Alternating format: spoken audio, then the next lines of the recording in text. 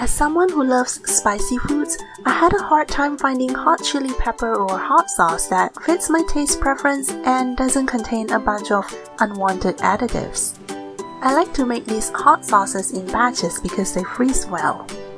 Here I use 500ml mason jars, but if you don't think you can go through one jar in less than a few weeks time, store in smaller jars and use a clean dry spoon every time. You can use any kind of chili peppers that you like. Here I use a mix of different kinds of red and green chili peppers, one large red onion, one brown onion, and about one head of garlic. Wash the chili peppers well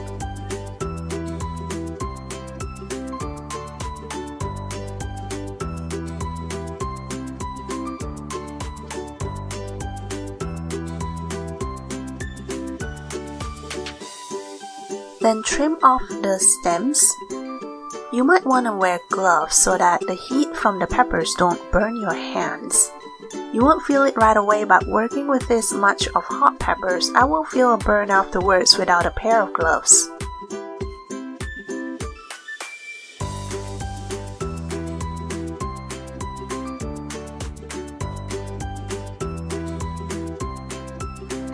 Heat up a pot or pan, then add some oil. The oil is important as it works as some sort of a preservative to the hot sauce. I still use a lot less oil than what traditional hot sauce recipes call for. Add onions and garlic that have been roughly cut into pieces. Then add all the chili peppers.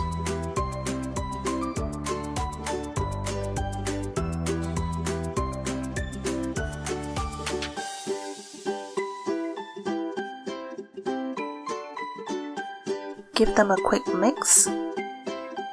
Then cover the lid and cook on medium-high heat. I use a heavy bottom pot that doesn't burn easily.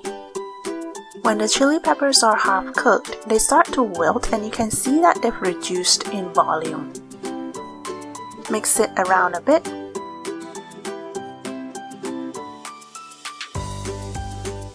Cover the lid and cook again. Check periodically and stir the peppers, onion and garlic around and adjust the heat to make sure they don't burn. When the peppers are almost done, season with some sea salt and brown sugar.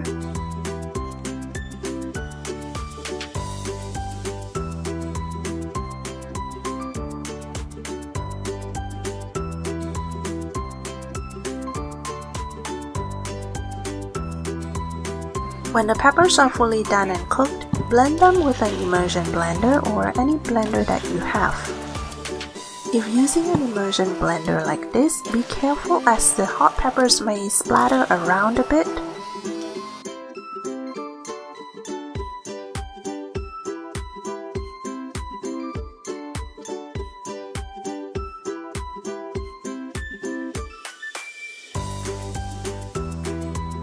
Once they are all blended well, taste and adjust seasonings accordingly.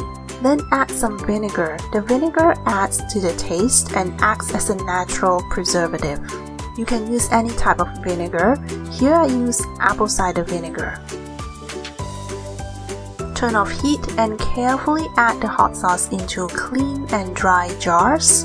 Then leave to cool completely. Store in the refrigerator for up to a month or freeze to last longer.